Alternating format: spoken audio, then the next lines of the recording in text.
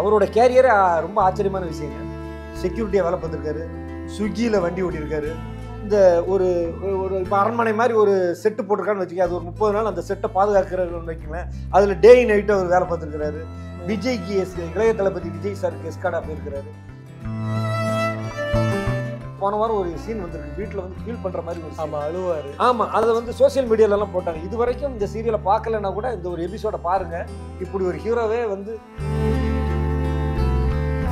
எங்கள் ஏரியாவில் ஒரு ஒரு அம்மா சொன்னாங்க. இன்னைக்கு எங்கள் மாமியார் என்ன பண்ணாங்க தெரியுமா? உங்கள் சீனில் நீங்க காட்டுக்குள்ளே அந்த ரோஜாவை கூட்டிகிட்டு போகும்போது டிவியில் சுடுதண்ணி எடுத்து ஊற்றிட்டாங்க என் முகத்தில் சுடுதண்ணி ஊற்றுனா என் மூஞ்சிலே பட போகுது. உங்க வீட்டு டிவி தானே இருக்கு. அப்படி இருந்தாங்க. அதே மாதிரி எங்கள் அம்மாலாம் கோவிலுக்கோ கோயிலுக்கோ எங்கேயா ஃபங்க்ஷனுக்கெல்லாம் போகும்போது சொல்கிறாங்க யார் தெரியுமா? அந்த ரோஜாவை காட்டில் கொண்டு போய் கற்பழிச்சார்ல அவரோட அம்மா. அப்படிலாம் சொல்ல ஆரம்பிச்சிட்டாங்க. ஜிபி முத்துவை பற்றி பேசுகிறாங்க ஜிபி முத்து வந்து ஆயிரம் தான் சொல்லுங்கள் லட்சக்கணக்கில் சம்பாதிக்கலாம் கோடி கணக்கில் சம்பாதிக்கலாம். இருந்தாலும் நம்ம வந்து பாசிட்டிவ் பண்ணி பாசிட்டிவ்ல வரணும். அவன் நல்லா நடிக்கிறாங்க. சூப்பர் ஆர்டிஸ்ட் அப்படின்னு சொல்லி பேர் எடுக்கணும் தவிர குறுக்கு வழியில நாலு பேரை திட்டி வர்றதெல்லாம் அது ஒரு விஷயமே கிடையாது. டிவி சீரியலோட நிறைய பேட்டர்ன் அதில் கிடையவே கிடையாது. அது சாதாரணமாக இருக்கும். அதனால தான் அந்த சீரியல் சூப்பர் ஹிட் ஆனோன்னு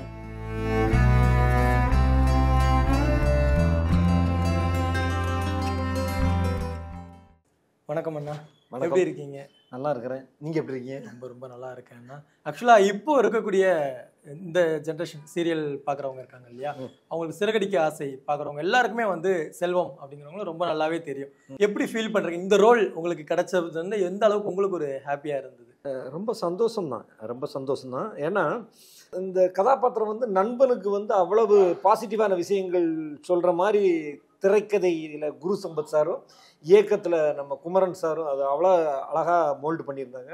சிறகடிக்காசை செல்வம் வந்து நிறைய பேருக்கு தெரிஞ்சதுக்கு உண்டான முக்கியமான காரணம் யாருன்னா டைரக்டர் குமரன் சார் தான். ஏன்னா ஹீரோவுக்கும் எனக்கும் வயசு வித்தியாசம் உண்டு. நான் நிறைய இதில் சொன்ன மாதிரி தான் ஹீரோவுக்கும் எனக்கு வயசு வித்தியாசம் உண்டு. ஆனால் ஹீரோவோட நண்பன் ஏற்கனவே கல்யாணம் ஆகி ரெண்டு குழந்தைக்கு அப்பாவான ஒருத்தன். கார் கா அதாவது காலேஜ் ஸ்டூடெண்ட்டாக ரெண்டு பேரும் காலேஜ் ஸ்டூடெண்ட்டாக இருந்தால் தான் பிரச்சனை. கார் டிரைவர்னு பார்த்தீங்கன்னா நீங்கள் எல்லா தொழிலையும் பார்த்தீங்கன்னா நம்ம ஈக்குவல் வயசில் இருக்க மாட்டாங்க. நம்மளோட அஞ்சு வயசு மூத்தவங்களா இருப்பாங்க. நம்மளோட ஆறு வயசு மூத்தவங்களா இருப்பாங்க. ஏ மச்சான் என்ன வாடாடே அப்படின்னு சொல்லி எல்லாம் எல்லா இடத்துலையும் நீங்கள் பார்த்துருப்பீங்க. அதைத்தான் அவர் வந்து கேரக்டர் வச்சார்.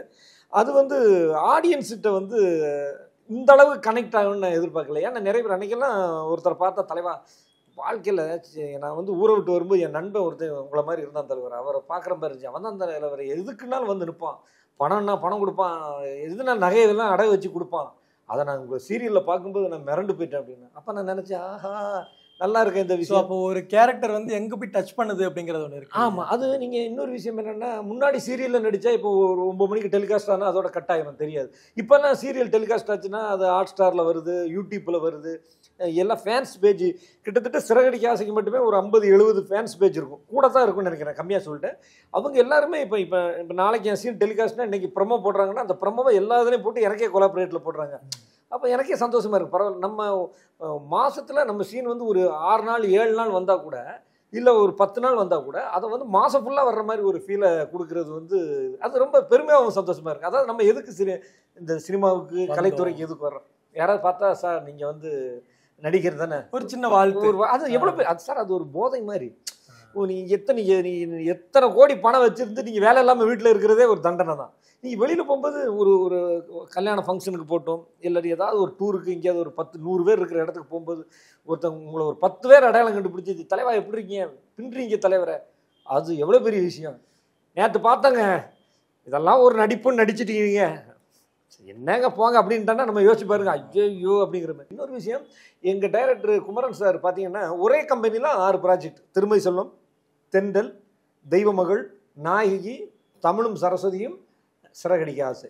ஏன்னா அவர் தொட்டதெல்லாமே ஹிட்டு நீங்கள் எப்படி சில இயக்குனர் எல்லாம் பார்த்தீங்கன்னா படங்களில் அவர் எடுத்த படம் எல்லாமே ஓடிரு சார் அது லோகேஷ் கனகராஜ் சார் ஆகட்டும் அட்லி சார் ஆகட்டும் நிறைய பேர் அவர் தொட்ட அந்த ப்ராஜெக்ட் ஹிட்டுங்கிற மாதிரி தொலைக்காட்சி தொடரில் என்ன கேட்டால் அவர் சின்னத்திரை பாலா தான்.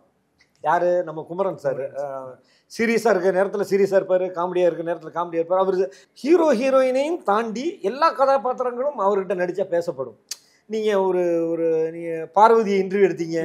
அவங்க பாட்டியெல்லாம் எல்லா எபிசோடும் வரமாட்டாங்க. ஆனால் பாட்டியை தேடுவாங்க மக்கள். டிவி சீரியலோட நிறைய பேட்டர்ன் அதில் கிடையவே கிடையாது. அது சாதாரணமாக இருக்கும். அதனால தான் அந்த சீரியல் சூப்பர் ஹிட் ஆனோன்னு தமிழ் மலையாள தெலுங்கு கன்னட ஹிந்தி பெங்காலி மராட்டி ஏழு மொழியில் ஏழு மொழியில் அடித்து காலி பண்ணி இப்போ சிறகடிக்க ஆசை எல்லா மொழியிலும் ஓடிட்டு இருக்கு. ஏழு மொழியிலும் இன்னைக்கு எல்லாரும் பாக்குறாங்க செல்வம் வந்து எல்லாரும் வந்து கொண்டாடுறாங்க அப்படின்னா சிறகடிக்க ஆசை மட்டும் இல்ல. இதுக்கு முன்னாடியே அதுக்கான நம்ம நிறைய விதை போட்டிருக்கோம். இப்போ திருமதி செல்வம்ல கூட நீங்க நடிச்சிருந்தீங்க. கல்யாண வீடுன்னு ஒரு சீரியல் வந்தது. அதுல கூட நீங்க பயங்கரமா பண்ணியிருந்தீங்க. அதுல வந்து வில்லன்ல ஆமாம் அது கல்யாண வீடை பற்றி நான் சொல்லி ஆகணும். திருமுருகன் சார் இயக்கத்தில் நான் ஏற்கனவே மெட்டி ஒலியில் சின்ன கேரக்டர் பண்ணியிருக்கேன். மெட்டி பண்ணிருக்கீங்க பண்ணியிருக்கிறேன். குலதெய்வத்துலையும் சின்னதாக ஒரு நாலு நாளாக மூணு நாளாக வர்ற மாதிரி அவுட்டோரில் பாண்டிச்சேரியா எங்கேயோ நடிச்சிருக்கேன். ஹீரோயின் காம்பினேஷனில் ஒரு காமெடி ட்ராக் மாதிரி. டைரக்டர் திருமுருகன் சார் என்ன சொல்லி கொடுப்பாரோ அதை பண்ணி அப்படி தான் ரெண்டு நாள் பண்ணியிருக்கோம் கல்யாண வீட்டில் வந்து எனக்கு வந்து கணபதி சார் ஃபோன் பண்ணார் ப்ரொடக்ஷன் மேனேஜர் ஒரு நாலு நாள் இருக்கும் நம்ம இந்த மகாபலிபுரம் கெஸ்ட் ஹவுஸில் தான் நீ ரூம் பாயா ஒரு கேரக்டர் நல்லாயிருக்கும் வா அப்படின்னு. ஆக்சுவலாக அது நாலு நாள் வேலைன்னு தான் நான் போனேன். ஆனால் ஒரு நாலஞ்சு மாதம் நடித்தேன் நாலஞ்சு மாதம் நடிச்சேன்னா அந்த திருமுருகன் சார் ஒரு கொஞ்ச நாள் நடிக்காமல் இருந்தார். அந்த எபிசோடில் வந்து ஒரு நாலஞ்சு மாதம் அவர் வரமாட்டார். அவர் வராத சீனில் வந்து ஹீரோ ஹீரோயின் ரோஜா நான் எங்கள் கேரக்டர் தான் டெய்லி வரும். அதில் வந்து சாதாரணமாக வந்த ஒரு ரூபாயாக வந்த ஒருத்தன் பணத்தாசை பிடிச்சி அவன் வந்து எப்படியெல்லாம் மாறுறாங்கிறது தான் அதோட திரைக்கதை. கல்யாண வீடில் உள்ள ஒரு பெரிய ப்ளஸ் என்னென்னா சாதாரண ஒருத்தன் வில் அவன் வில்லனே கிடையாது. அவன் சாதாரணமாக வந்து பணத்தாசைப்பட்டு என்னென்ன பண்ணுறான் கேப் மாதிரி தானே எப்படி பண்ணுறான் அப்படின்னு. ரெண்டாவது அந்த சீரியலில் தான் கொலை கொள்ளை கற்பழிப்பு ஆள் கடத்தல்னு. ஒட்டுமொத்த அயோக்கியத்தனம் பண்ண ஒரு கேரக்டர் தான் செல்வம். அப்போ வந்து என்னென்னா எங்கள் ஏரியா சீரியல்லையும் உங்க நேம் வந்து செல்வம் செல்வம் தான். அது என்னன்னு தெரியல. செல்வங்கிறது நமக்கு சென்டிமெண்ட்டாக ரெண்டு இதுலேயும் இது. அப்போ வந்து எங்கள் ஏரியாவில் ஒரு ஒரு அம்மா சொன்னாங்க. "இ- இன்னைக்கு எங்கள் மாமியார் என்ன பண்ணாங்க தெரியுமா? உங்கள் சீனில் நீங்கள் காட்டுக்குள்ளே அந்த ரோஜாவை கூட்டிகிட்டு போகும்போது டிவியில் சுடுதண்ணி எடுத்து ஊற்றிட்டாங்க சுடுதண்ணி டேப்லெட் போட கொடுத்துட்டேன். உங்கள் சீன் வந்தோடனே உங்கள் முகத்தில் சுடுதண்ணி ஊற்றிட்டாங்க அப்படின்னு. என் முகத்தில் சுடுதண்ணி ஊற்றினா என் மூஞ்சிலே பட போகுது. உங்கள் வீட்டு டிவி தானே இருப்பேன் அப்படி இருந்தாங்க. அப்போ வந்து அதே மாதிரி எங்கள் அம்மாலாம் கோவிலுக்கோ எங்கேயோ ஃபங்க்ஷனுக்கெல்லாம் போகும்போது சொல்கிறாங்க யார் தெரியுமா? அந்த ரோஜாவை காட்டில் கொண்டு போய் கற்பழிச்சார்ல. அவரோட அம்மா. அப்படிலாம் சொல்ல ஆரம்பிச்சிட்டேன் எங்கள் அம்மா. இவ இவ பையன் தான் அந்த சன் டிவியில் நடிக்கிறான். அந்த சீன்லாம் இப்போ இந்த எண்ணம் எல்லாமே இப்போ ஒரு அஞ்சு வருஷங்களா தான் கொஞ்சம் மாறி இருக்கு இல்லையா. ஏன்னா இப்போ கை எல்லார் கையிலயும் மொபைல்ஸ் வந்துடுச்சு. சோஷியல் மீடியால நம்ம என்ன பண்றோங்கிறது வந்து வெளியே தெரிய ஆரம்பிச்சிருச்சு. ம். ஓகே அப்போ அது வந்து வேற அது வந்து கேரக்டரா நடிச்சிட்டு இருக்காங்க. இதுதான் இவங்களோட ரியாலிட்டி அப்படிங்கிற இந்த எண்ணம் இப்பதான் வர ஆரம்பிச்சு. இல்ல இப்போ வர ஆரம்பிச்சாலும் இன்னைக்கு நீங்கள் சிறகடிக்க சில மனோஜ் ரோஹினி திட்டம் தானே செய்கிறாங்க ஆமா. நீங்கள் அப்படி சொல்கிறீங்க அது எனக்கு தெரிஞ்சு அந்த காலத்துலயும் புரணி பேசுறவங்க இருக்காங்க இந்த காலத்துலயும் புரணி பேசுறவங்க இருக்காங்க. சோஷியல் மீடியா வந்த பிறகு பயங்கரமா இருக்கிறாங்க இப்போ ஆனா நீ ஃபேமஸ் ஆயிடலாம் ஈஸியா எப்படின்னா நீங்க வந்து ஒரு நாலு பேரை திட்டி யூடியூப்ல பேசினா கூட நீ ஃபேமஸ் ஆயிடலாம் நெகட்டிவ் அதுல நீங்க போய் கமெண்ட்டை படிச்சு பாருங்களேன். அத்தனை பேர் கழுவி ஊத்துவாங்க நீங்க ஜெயிச்சா கூட நீ நேர்மை இப்போ ஜிபி முத்துவை பத்தி பேசுறாங்க. ஜிபி முத்து வந்து ஆயிரம் தான் சொல்லுங்க. ஜிபி முத்துவோட கமெண்ட் போய் படிச்சு பாருங்க. எத்தனை பேர் கழுவி ஊத்துறாங்க? அவர் அவர் லட்சக்கணக்கில் சம்பாதிக்கலாம் கோடி கணக்கில் சம்பாதிக்கலாம். இருந்தாலும் நம்ம வந்து பாசிட்டிவ் பண்ணி பாசிட்டிவ்ல வரணும். அவன் நல்லா நடிக்கிறாங்க. சூப்பர் ஆர்டிஸ்ட்டுங்க அப்படின்னு சொல்லி பேர் எடுக்கணும் தவிர குறுக்கு வழியில நாலு பேரை திட்டி வர்றதெல்லாம் அது ஒரு விஷயமே கிடையாது. நம்ம வந்து என்றைக்குமே ஒருத்தன் வந்து நல்லா யோசிச்சு பாருங்க. ஒரு அப்பா டைரக்டரு அண்ணன் இயக்க அண்ணன் டைரக்டரு இப்படி ஒருத்தர் வீட்டிலேருந்து இருந்து ஒருத்தர் நடிகரை வர்றது பெரிய விஷயம் கிடையாது. நீங்க வந்து விஜய் சேதுபதி சார் மாதிரி சிவகார்த்திகேயன் சார் மாதிரி சந்தானம் சார் மாதிரி ஒருத்தர் நடிகர் வர்றது பெரிய விஷயம். ஏன்னா சந்தானம் சார் குடும்பத்திலாம் யாரும் ஃபேமிலி பேக்ரவுண்ட் யாருமே சினிமா கிடையாது. விஜய் சேதுபதி சார் யாருக்குமே அப்படி பேக் கிடையாது. அப்படி ஜெயிச்சு வர்றது தான் அதுதான் வெற்றி. நீங்க திரைப்படங்கள்ல எல்லாம் இப்போ ஐம்பதுக்கு மேற்பட்ட திரைப்படங்களை நடிச்சிருக்கீங்க அப்படின்னு சொல்லும்போது இப்போ லொல்லு சபாலையும் நீங்க ம், ம். பார்ட்டிசிபேட் பண்ணியிருந்தீங்க இல்லையா. இதெல்லாம் திரைப்படங்கள் நடிச்சிட்டு இருக்கும்போதே தான் இல்லை நீங்கள் லொல்லு சபாவில் நான் போனதே வந்து டைலாக் ஆர்டிஸ்ட் தான் போனேன். சித்தி சின்ன பாப்பா பெரிய பாப்பா அதுக்கு முன்னாடி கொஞ்சம் எல்லாம் வசனம் பேசுகிற காட்சிகள் கிடையாது நான் முத முதல்ல தொலைக்காட்சியில் எனக்கு வந்து நம்பி ஒரு கேரக்டர் கொடுத்தது வந்து சித்தின்னு ஒரு சீரியல் தான். CJ Bhaskar Radhika Radhika madam. Radaan production அதான் சித்தி தான் வந்து ரேடனில் super hit first project super hit ரேடனில் அதில் வந்து எனக்கு சம்பளம் ஒரு ஹண்ட்ரட் அண்ட் ஒன் ஃபிஃப்டி அவ்வளோதான் நூற்றி ஐம்பது ரூபா தான் சம்பளம். நடிக்கிறதுக்கு? நடிக்கிறதுக்கு எனக்கு சம்பளம் நூற்றம்பது ரூபா தான். அப்போ என்ன ஒரு இருபது வருஷத்துக்கு முன்னாடி ஆனால் அந்த கேரக்டர் வந்து என்னை பேசப்பட்டுச்சு. பேசப்பட்டுச்சுன்னா எங்கே வேணாலும் அப்போல்லாம் ஒரே சாய்ஸ் தானே. சித்தி மட்டும்தான்.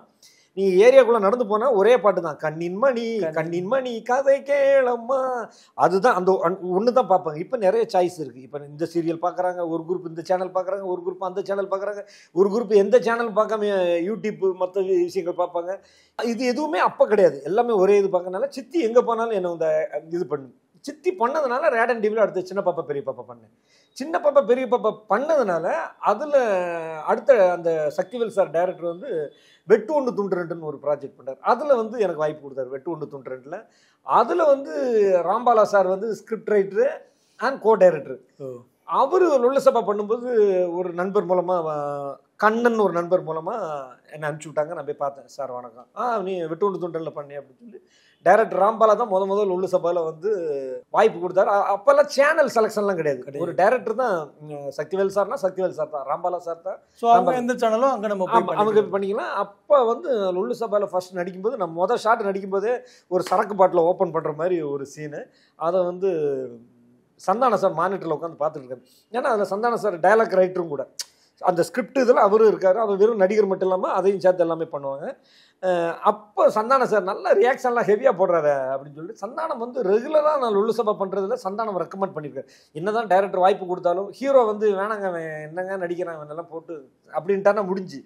ஆனால் சந்தானம் ஓப்பனிங் கொடுத்த அந்த இது வந்து இப்போ அம்மன் கோவில் கிழக்கால எபிசோடு பண்ணுறாங்கன்னா அதில் வந்து சந்தானத்துக்கு ஃப்ரெண்டு நாங்களாக இருப்போம். இல்லை சாமின்னு ஒன்று விக்ரம் இது பண்ணனா விக்ரம் அவர் கூட வர்ற மாதிரி உள்ள விஷயங்கள். அப்படி இருக்கிறதுனால நிறைய ஓப்பனிங் சந்தானம் சார் கூட. இன்னும் நிறைய எபிசோட்லாம் வந்து யூடியூப்ல இல்லை. அது ஏன் டெலீட் பண்ணாங்கிறது. நிறைய படங்கள் வந்து நல்லவனுக்கு நல்லவன்லாம் லொல்லு சபா வந்து நீங்க யூடியூப் அதை வந்து சேவ் பண்ணாம இருந்துட்டீங்க. உங்களுக்கு அது பார்த்து இல்ல அது எதுலையுமே கிடையாது. சில எபிசோடு வந்து லொல்லு சபா எபிசோடு அது என்னாச்சுன்னு தெரியல. நிறைய டெலிட்டடு நிறைய டெலீட் பண்ணிட்டாங்க. நிறைய படங்கள் லொல்லு சபா வந்து மக்கள்கிட்ட நமக்கு ஒரு நல்ல அங்கீகாரத்தை கொடுத்து லொல்லு சபா அங்கீகாரம் குடிச்சது. அதுக்கு பிறகு சந்தானம் சார் வந்து சினிமா கிடச்சி போன பிறகு நம்ம ஜீவா சாமிநாதன் ஈஸ்டர் உதயண்ணன் இவங்க காம்பினேஷனில் மாறண்ணன் இவங்க எல்லாரும் கூட யார் ஹீரோ மாறினாலும் நம்ம அந்த அந்த கேரக்டர் நம்மளுக்கு ரெகுலராக கிடைக்கும். நான் சொல்லிடுவேன் சார் எது எப்படியோ நமக்கு அந்த வந்து ஏதாவது ஒன்று போட்டு கொடுத்துருங்க. அப்படின்னு வாரத்துக்கு ரெண்டு நாள் வேலை அப்படின்னா என்னன்னா இந்த வாரம் நடிச்சா இந்த வாரம் டெலிகாஸ்ட் இந்த வாரம் நடிச்சா இந்த வாரம் டெலிகாஸ்ட். நான் ஏதாவது படங்களுக்காக அவுட்டோரோ இல்லை வேற ஏதாவது ஷூட்டிங்காக வெளியில் போனால் லுல்லு சபா நடிக்க முடியாதே தவிர எனக்கு ஃபர்ஸ்ட் ப்ரிஃபரன்ஸ் அவங்க கொடுத்தாங்க. அது டைரக்டர் ராம்பாலா சாருக்கும் இணை இயக்குனர் சேது ஆனந்த் சுந்தர் இவங்கெல்லாம் தான் நமக்கு வந்து சப்போர்ட்டாக சரி பண்ணிட்டு அப்படின்னு சொல்லிட்டு கொடுத்தாரு. உங்களுக்கும் ஹீரோ வெற்றி வசந்த் அவங்களுக்கு வந்து பயங்கர காம்பினேஷன் ஏன்னா உள்ள வந்து இப்போ பார்க்கும்போது எனக்குமே அப்படிதான் ஒரு ஃபீல் ஆகும் இப்படி ஒரு ஃப்ரெண்டு எங்க இருப்பான்? அப்படிங்கிற அந்த ஒரு இது இருக்கும்ல. அவர் வந்து ஒன்று வேணும்னா அவர் சொ சொல்றதுக்கு முன்னாடி செஞ்சு வைக்கக்கூடிய ஒரு ஃப்ரெண்டு இருக்காங்கல்ல அதெல்லாம் கிடைக்கிறது ரொம்ப அபூர்வம். ஸோ இந்த கேரக்டர் இப்போ அவரோட நீங்க டிராவல் பண்ணும்போது கேரக்டர் வைஸாக வந்து சீரியலில் நீங்கள் ட்ராவல் பண்ணிட்டு இருக்கீங்க பட் பர்சனலாக எப்படி குமரன் சார்னால கிடைச்ச வாய்ப்பு தான் அதுவே தவிர ஆனால் ஹீரோ வந்து ரொம்ப ஃப்ளெக்சிபிளானவர். அவர் சீரியல் எப்படி முத்துவோ நிஜ வாழ்க்கையிலே அவர் முத்து தான் அவர் ரொம்ப கொஞ்சம் அவர் நாலு பேர் கூட ஃபோட்டோ எடுக்கும்போது நான் வீடியோ எடுத்தால் கூட "அஹ், தலைவா அதெல்லாம் எடுத்துறாங்க தலைவா அப்படிங்கிற மாதிரி ஒரு நல்ல ஒரு கேரக்டர் இங்கே ரெண்டாவது ஏஆர்எஸ் கார்டனில் ஷூட்டிங் முடிஞ்சு காரை எடுத்துகிட்டு வெளியில் வர்றாரு. வெளியில் ஒரு பையன் வந்து மொபைலை பார்த்துட்டு டூ வீலரில் கொண்டு போய் இவர் வண்டியில் இடிச்சிட்டு. இவர் வண்டியில் இடிச்சிட்டா நம்ம என்ன பண்ணுவோம் புது கார் வாங்கிட்டோம் ஒருத்தர் வண்டி இடிச்சானா என்ன சொல்லுவோம் யோ காரை போய் இடிச்சிட்டேன்னு சொல்லி அவன்கிட்ட சண்டைக்கு போவோம்ல. நான் வந்து பைக்கில் வந்தோம் பைக்கை ஸ்டாண்ட் போட்டியோ ஏன் தம்பி பார்த்து வர வண்டி இப்படி சொல்லி கேட்டுக்கிட்டு இருக்கேன். அவர் வந்து வெற்றி வந்து தலைவா விட அவன் வேணா தெரிஞ்சா பண்ண சின்ன பையன். சரி ரைட் ஓகே எப்படினாலும் மக்காடு ஒரு பத்தாயிரம் கொடுத்தா சரியா இருப்போம் அப்படின்னு சொல்லி அப்படி ஒரு கேரக்டர் ரெண்டாவது வெற்றி வசந்த் கிட்ட அடுத்த தலைமுறையினர் கற்றுக்க வேண்டிய விஷயம் என்னென்னா எப்படி சந்தானம் சார் சிவகார்த்திகேயன் சார் அந்த மாதிரி உள்ளவங்க வந்து சினிமா பலம் சினிமா பேக்ரவுண்ட் இல்லாமல் வந்தாங்களோ அதே மாதிரி வெற்றி வசந்த் வந்து தன்னோட திறமையை வளர்த்துக்கிட்டு யூடியூப்பு ஷார்ட் ஃபிலிம் எல்லாம் பண்ணியிருக்கார தாண்டி அவர் அவரோட கேரியரே ரொம்ப ஆச்சரியமான விஷயங்க. செக்யூரிட்டியாக வேலை பார்த்துருக்காரு. ஸ்விக்கியில் வண்டி ஓட்டியிருக்காரு. இந்த ஒரு ஒரு இப்போ அரண்மனை மாதிரி ஒரு செட்டு போட்டிருக்கான்னு வச்சுக்க அது ஒரு முப்பது நாள் அந்த செட்டை பாதுகாக்கிறன்னு வைக்கிங்களேன் அதில் டே நைட்டு அவர் வேலை பார்த்துருக்காரு விஜய்க்கு எஸ் இளைய தளபதி விஜய் சாருக்கு எஸ்காடா போயிருக்கிறாரு. ஒரு மனுஷன் கஷ்டப்பட்டா வாழ்க்கையில் உயர்ந்துடலாம் அப்படிங்கிறதுக்கு நான் வெற்றி வசந்தை பார்த்து கற்றுக்கிட்டேன் ரெண்டாவது நடிப்பில் அசுரங்க அவர். நீ நூற்றி பதினெட்டு சீரியல் நான் நடித்தாலும் அவர் கூட ஒரு ஃப்ரேமில் நான் நடிக்கும்போது அவர்கிட்ட கேட்டுக்குவேன். தலைவா இது எப்படி இப்படி போட்டுக்கலாமா? தலைவா இது ஓகேவா இது கரெக்டா அப்படின்னு சொல்லி கேட்டுக்குவேன். அதே மாதிரி நான் இதுவரைக்கும் நடித்த தொலைக்காட்சி தொடர் நடிகர்கள்லேயே எல்லா விஷயத்தையுமே ஃபிங்கர் டிப்ஸில் வச்சிருப்பாரு. இது ஆயிரத்தி இருபத்தி ஆறாவது நம்பர் சீனு அது ஆயிரத்தி இருபத்தி ஏழு அதுக்கடுத்து ஆயிரத்தி இருபத்தெட்டு. தலைவா நீங்கள் காஸ்டியூம் மாற்றிக்கலாம் ஏன்னா இது இது போயிட்டு தான் அது வருது. இது வீடு இது வீடு மேட்ரு இப்படின்னு சொல்லி ஒரு ஷெட்யூல் டேரக்டருக்கு என்னென்ன தெரிஞ்சிருக்கோ அதெல்லாம் தெரிஞ்சிருக்கும். கதையில் திரைக்கதையில் எல்லா அந்த இந்த மாதத்தில் என்னென்ன எடுக்க போகிறாங்கிறது எல்லாமே அவர் தெரிஞ்சு வச்சுருப்பார் வழக்கமாக ஒரு சீரியல் நடிகருங்கிறது அவர் நடிக்கிறது மட்டும் தெரிய இன்னைக்கு என்ன சீனு அடுத்த சீன் என்ன? அது நிறைய பேர் சீரியல் நடிகர்கள்லாம் இப்போ நிறைய பேர் டப்பிங் கூட பேசுறது கிடையாது. தமிழ் பேச தெரிந்த நடிகர்களே டப்பிங் பேசுறது ஆனால் வெற்றி வசந்த் வந்து நடிக்கிறத தாண்டி டப்பிங்லேயும் போய் உயிர் கொடுத்துருப்பாரு. இப்போ இடைக்கு ஒரு போன வாரம் ஒரு சீன் வந்திருக்கு. வீட்டில் வந்து ஃபீல் பண்ணுற மாதிரி ஒரு scene. ஆமா அழுவாரு. ஆமா அதை வந்து சோஷியல் மீடியாலலாம் போட்டாங்க. இது வரைக்கும் இந்த சீரியலை பார்க்கலன்னா கூட இந்த ஒரு எபிசோட பாருங்க. இப்படி ஒரு ஹீரோவே வந்து இது வரைக்கும் வந்ததில்லை. தொலைக்காட்சி தொடரில் அப்படி ஒரு சிறப்பான சிறந்த நடிகர் அப்படிங்கிற.